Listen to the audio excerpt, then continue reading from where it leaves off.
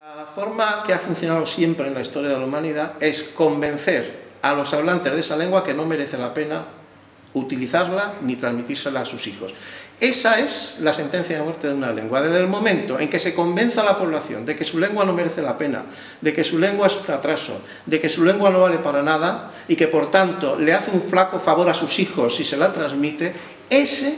ese, ese convencimiento, que es lo que llamo yo colonialismo mental, esclavitud mental, que esto está inducido evidentemente por una serie de ideologías que vienen de fuera que dicen el hawaiano no tiene interés, hay que aprender inglés. Eh, pues el castellano hay que aprenderlo y dejar el gallego porque el gallego no sirve para nada. Todas estas ideas, que son ideas imperialistas,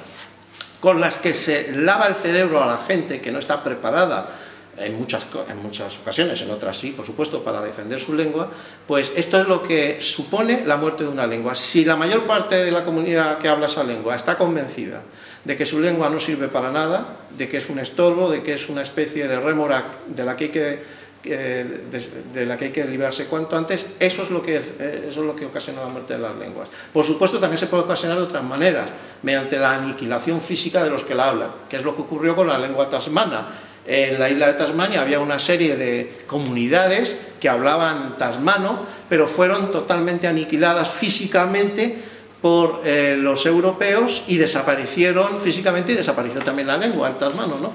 Pero también, eh, también puede morir una lengua de una comunidad pequeña cuando hay un, desastre natural, un tsunami, por ejemplo hay lenguas que tienen pues, a lo mejor 400 hablantes